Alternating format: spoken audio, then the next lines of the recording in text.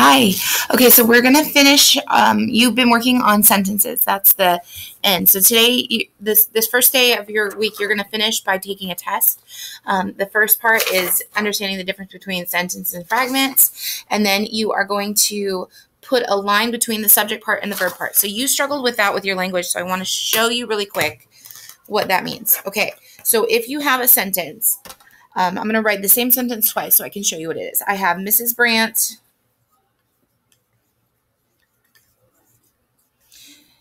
injured her stomach. Okay, so the action here is injured. So anything before the action is going to be the subject. So who's the subject in this sentence? Mrs. Brandt. So when you have to underline the subject, you're going to underline this one and you're going to draw a line right here after the person. Okay? Mrs. Brandt is the subject, and then the rest of it, the predicate, is the action part. Injured her stomach. Now, even though I have her and stomach here, and those aren't action words, it's part of the action. So that's called the predicate. Okay? Subject is when it's about someone, it's usually right there at the front, and it's before the action part. And then the action part is the verb and then anything else that goes with it. Okay, that's the predicate. So if we have Mrs. Brandt injured her stomach, then Mrs. Brandt is the subject. Okay, I'm going to write Brandt. I forgot to write Mrs. Injured her stomach. Okay. So now I have the same sentence. I rewrote it. Mrs. Brandt injured her stomach. So then what I'm going to do now is what is the predicate? Again, it's the action part. So we're still going to draw a line right between these two like we did last time. But this time we're going to underline the predicate, the action part. Mrs. Brandt injured her stomach. Okay, so when it's asking you to draw a line between in the predicate, that means the action part. And then it says underline the verb, and the underlined verb here is injured. Okay, so we drew a line between the subject, Mrs. Brandt, and the predicate, injured her stomach, and then the word, the actual action is injured. That's the actual verb. Okay, that's what you need to do because you struggled with that one and the other one. So you did you did the the subject part right. You just forgot the action part. Um, and then over here, you're going to tell me which kinds of sentences there are, um, which one has the right um, way to write them so that they're not run on sentences.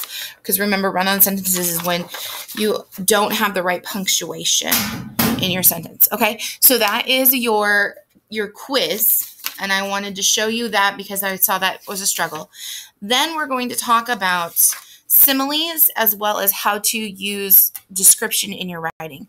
Um, okay, so the similes are when you compare something to something different. So um, your hands are as rough as sandpaper. So it means you need lotion. They're really dry and scratchy.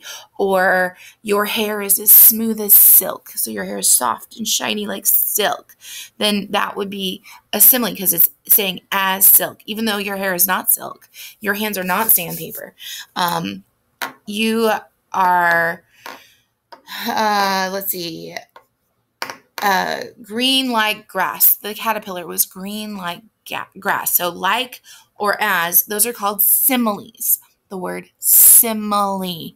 And simile is when you're comparing two things. Um, it's a fun way to add expression to your writing. Then you're going to talk about something that you want to write about. So, um, we did my rabbit as our first one. We we did it all together. So how does the rabbit look? Well, she is white and black and brown. So that is look. And how does she sound? Well, she thumps her feet. So that's the sound we hear from her a lot. Um, and how does she taste? Well, I don't want to know how she tastes because she's a, a rabbit. So I'm going to skip that one. How does she smell? She smells like a barn. And how does she feel? Um, she's very soft. Okay, so I'm not asking you to write full on sentences. I just want you to give me the descriptions. So you can pick anything you want to write about in here. Maybe just an object you find at home. And then you can also use a simile. So lavender is as soft as a pillow. She's as soft as a pillow, so she's nice and soft and smooth.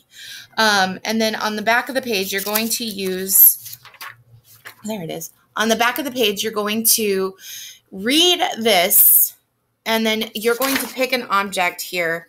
Um, it says your teacher shows you an object. Have your mom or your dad pick an object and use a simile to explain it, okay? To use use some of your words. So this one, ask mom, dad to help you, okay? And then we're going to do some descriptive revision.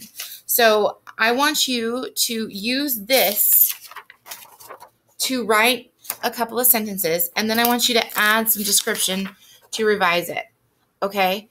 And the point here is that you're practicing using your ideas and you're practicing using your your writing skills to make a complete paragraph, make things make a little bit more sense. So your topic and then a couple of details about it and then revise it to add more colorful language, make it more exciting and more pretty.